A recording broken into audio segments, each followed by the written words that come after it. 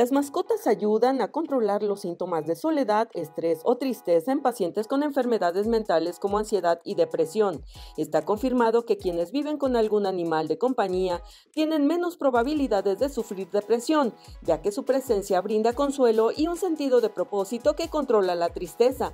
Además, el cuidado diario de los animales agrega estructura a la vida de la persona y crea una rutina de acuerdo con información de la Secretaría de Salud. La relación entre humanos y animales promueve la liberación de oxitocina, vasoprestina y endorfinas, denominadas hormonas de la felicidad.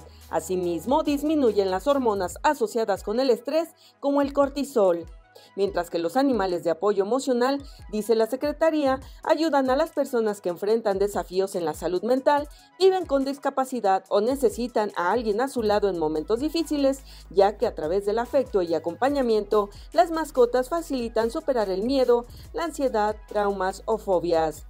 Información del Instituto Nacional de Psiquiatría, Ramón de la Fuente Muñiz, refiere que los animales de ayuda están entrenados para brindar asistencia a personas con alguna discapacidad motriz, alertar ante una crisis convulsiva, dar señales a quienes padecen sordera y apoyar a personas ciegas o con alteraciones visuales.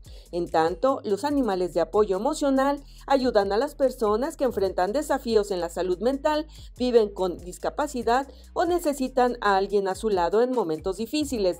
A través del afecto y acompañamiento, estas mascotas facilitan superar el miedo, la ansiedad, traumas o fobias. Las autoridades sanitarias recomendaron brindar cuidados y atenciones a las mascotas como tiempo de calidad, hogar digno, alimento y agua, atención médica con regularidad y esquema de vacunación completo, entre otros.